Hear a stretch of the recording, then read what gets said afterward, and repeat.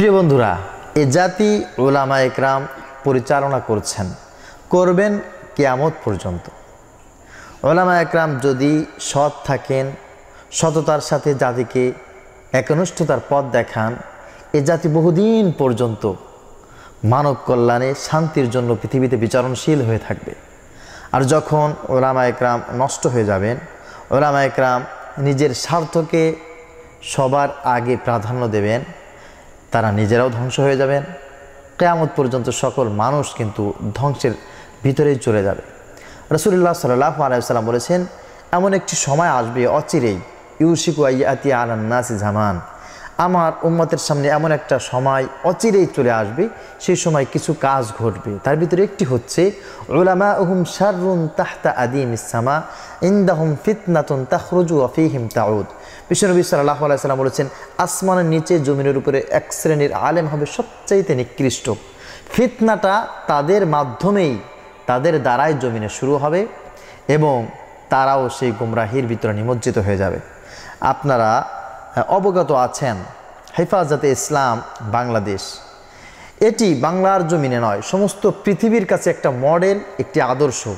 ইসলামকে তার সম্মানের জায়গায় রাখার জন্য হেফাজতে ইসলাম এত সুন্দর, উজ্জ্বল দৃষ্টান্ত রেখে দিয়েছে যা কেয়ামত পর্যন্ত মানুষের কাছে একটি নিদর্শন হিসাবে থাকবে। এটিকে আজকে কিছু সংখ্যক এই রকম আলেম দ্বারা এত বেশি কলঙ্কিত হয়েছে এবং মানুষ এত বেশি এটাকে খারাপ সাইডে নিয়ে গেছে যা ভাবতেই আমাদের অতি বেশি লজ্জা লাগে। মানুষের কাছে এটা বলতেও পারি না।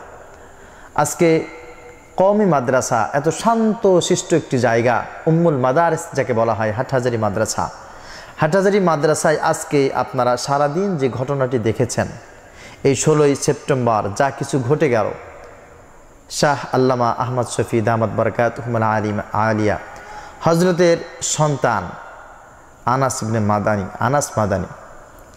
তাকে কেন্দ্র করে যা কিছু ঘটে গেল, জাতি এটা দেখার জন্য কিন্তু অপেক্ষা করেনি, জাতি কখনো ভাবেও নি। আমি ব্যক্তিগতভাবে আপনাদের সামনে এই মেসেজটি তুলে ধরতে চাই এই কারণে। একজন আলেম কাজ করবেন সার্বজনীন।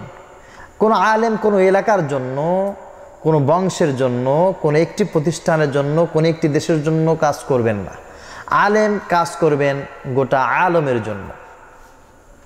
বিশ্বনবী সাল্লাহু আলহি ওসাল্লামের একটি কথা এবং প্রচলিত ক্ষেত্রে এই কথাটি আছে যে মাহতুল আলিম মাহতুল আলাম। একজন আলেমের মৃত্যু তামাম বিশ্ববাসীর মৃত্যু, বিশ্ববাসীর মৃত্যুর সমপরিমাণ বা সেই রূপ। সুতরাং আলেম হবে সার্বজনীন সমস্ত পৃথিবী নিয়ে চিন্তা ফিকির করবে।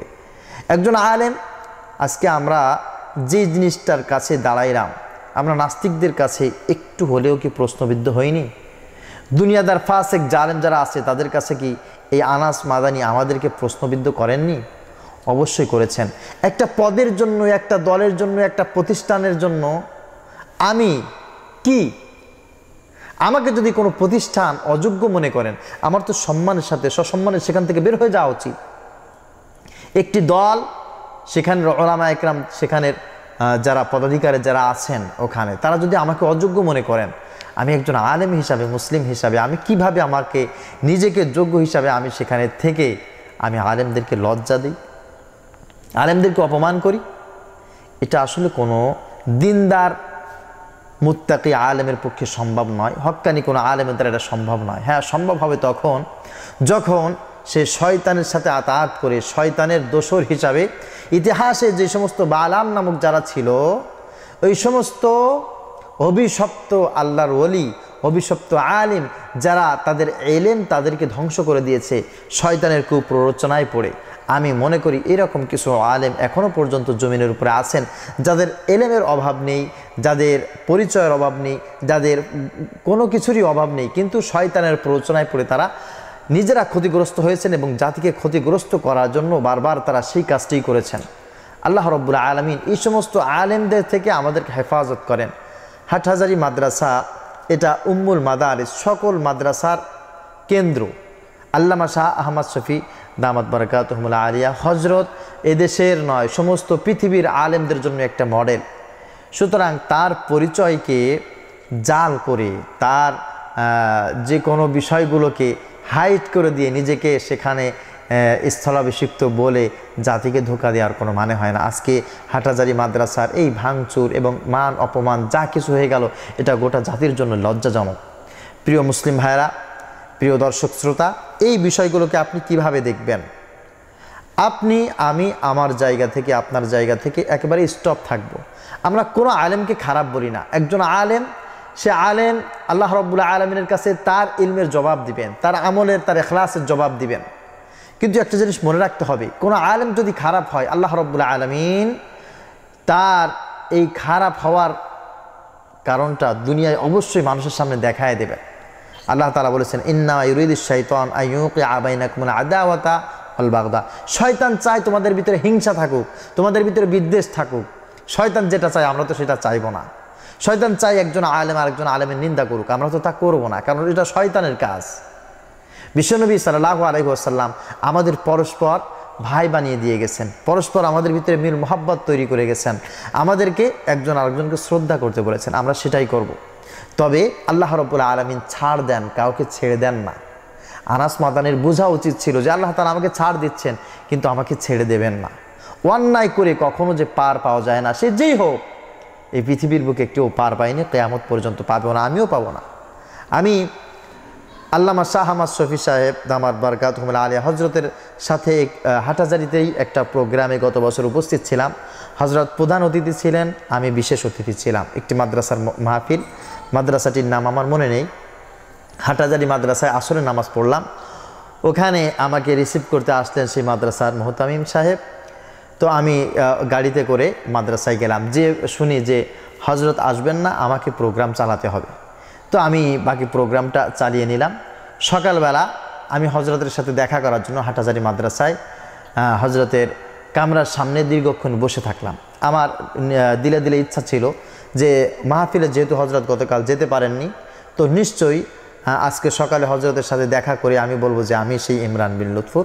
এটা এবং আমি আমার মাদ্রাসায়, বাগেরহাটের ফকিরহাটে বাহির দেয়ানের মাদ্রাসা, আমি যে মাদ্রাসার অফিসে বসে এখন কথা বলছি, আমি আমার মাদ্রাসায় হজরতকে মাহফিলের জন্য দাওয়াত দিয়ে যাব ইনশাআল্লাহ হেলিকপ্টারে করে হজরত আমার এলাকায় আসবেন, মাহফিল করবেন, চলে যাবেন। আমি এই বিষয়টি হজরতের সাথে আলোচনা করব সেই জন্য আমি বসে থাকলাম। প্রায় ঘণ্টা খানিক বসে থাকার পর সাহেবজাদা, আল্লামা শাহ আহমদ শফি দামাদ বারকাত হুমুল আলিয়া, মাওলানা হজরত আনাস মাদানি উনি বের হলেন। বের হওয়ার পর আমাকে বলছেন, আপনি কে? আমি বলছি, যে দেখুন, আমার নাম ইমরান বিলুৎফুর আমি খুলনা থেকে এসেছি। আমি ঢাকাতে থাকি। তা বলছে, আপনি কেন আসছেন? আমি বললাম যে হজরতের সাথে কথা বলব এবং হজরতকে আমার মাদ্রাসায় মাহফিলের জন্য ইনভাইট করার জন্য আসছি। হজরত যদি আমার দাওয়াত কবুল করেন। উনি কোনো কথা আর না শুনে আমাকে বললেন, না না, আপনি চলে যান, উনি এখন মাহফিল করেন না। উনি মাহফিল কোথাও যান না, আপনি চলে যান। তো আমি আসলে খুব একটু অবাক হলাম। অবাক হয়ে আমি চিন্তা করলাম যে, ভাই, আমি কি কোনোভাবে ওনার সাথে একটু কথা বলতে পারি না? পারে, না, এখন কথা বলবেন না। উনি ব্যস্ত আছেন, উনি বিশ্রামে আছেন, আপনি চলে যান, উনি কোথাও মাহফিলে যান না। একটা মানুষের আচার আচরণটাই কিন্তু বলে দেবে সেই মানুষটি কোথায় যাবে, কোথায় থাকবে। আনাস মাদানি ওনার উপর ব্যক্তিগতভাবে কোনো আলেমের বিদ্বেষ নেই, কিন্তু কোনো আলেমের সুনজর এবং এই বাংলার জমিনে যারা এখলাসের সাথে দিনের কাজ করছেন, জাতিকে রাহবার হিসেবে পথ দেখাচ্ছেন। এরকম আলেমদের সুপরামর্শ এবং নেক নজর কিন্তু তার উপরে নেই। অসংখ্য আলেমের সঙ্গে তিনি বিয়াদবি করেছেন, অসংখ্য আল্লাহ রুলিদের দিলে তিনি আঘাত করেছেন। এই আঘাতের ফল এরকমই হবে, জাতি এটা বুঝতো। আমরা অনেক আগেই বুঝেছি। এই জন্য আমার দ্বারা, আপনার দ্বারা যেন এমন কাজ কখনো না হয়। আল্লাহ রব্বুল আলমিন ছাড় দেন, কাউকে ছেড়ে দেন না। এজন্য হাটাজারি মাদ্রাসার বিষয়টি নিয়ে আমরা সামনে আর কোনো কথা বলব না। মুরব্বীরা আলহামদুলিল্লাহ জেগে আছেন। ওনারা যেটা বলেছেন সেটা অবশ্যই করবেন। আর একটি মানুষের কথা বলি আমি শেষ করতে চাচ্ছি, তা হচ্ছে জুনায়দ বাবুনগরী, আল্লামা বাবুনগরী। উনি ওনার কাছে আমি বুখারির শেষ দর্শটা আমি ওনার কাছে নিয়েছি। রামপুরা জামিয়া আরবিয়া দারুল্লুম মাদ্রাসার খতম, বুখারিতে হুজুর উপস্থিত ছিলেন। হুজুরের কাছ থেকেই সেই শেষ হাদিসটি পড়েছি। যে কালিমাতানে, খাফিফাতানে, ফিল লিসান থাকিলাতানে ফিল মিজান। যে আল্লাহ তাআলার কাছে বুখারির শেষ হাদিস যেটা, ওটাই পড়েছি আর হজরতের কাছে। তো এতটুকু মনে হয়েছে যে উনি যেটা বলেন, যেটা করেন, যেটা ভাবেন, যেটা পরামর্শ দেন, একমাত্র মালিকের জন্য দেন। অতটুকু আমি বুঝতে পেরেছি। তো একটা মানুষ যদি আল্লাহ রব্বুল আলমিনের জন্য এত কিছু করেন তো আল্লাহ রব্বুল আলমী তার জন্য যথেষ্ট হয়ে যান। ইজ্জতের মালিকও আল্লাহ, বেইজ্জতের মালিকও আল্লাহ। তো অতিল মুলকা মান্তাসা ও তানসাহুল মুলকা মিম মান্তাসা আল্লাহ যাকে ইচ্ছা ইজ্জত দেন, যাকে ইচ্ছা আল্লাহ রব্বুল আলমিন বেইজ্জতি করেন। এই জন্য আল্লাহ রব্বুল আলমিন যা করেছেন, এটা মালিকের পক্ষ থেকে, এটা ফাইসালা ছিল। মালিকের ফাইসালা মেনে নিয়ে ইনশাআল্লাহ আমরা আমাদের পরবর্তী জীবনকে সুন্দর করব। সকলকে যার যার স্থানে চুপ থেকে আমাদের সকলের জন্য, জাতির জন্য, হাটাজারি মাদ্রাসার জন্য, ওলামা একরামের জন্য, হেফাজতে ইসলামের জন্য দোয়া করার আহ্বান জানিয়ে শেষ করছি। আসসালামু আলাইকুম রহমতুল্লাহি আবরাকাত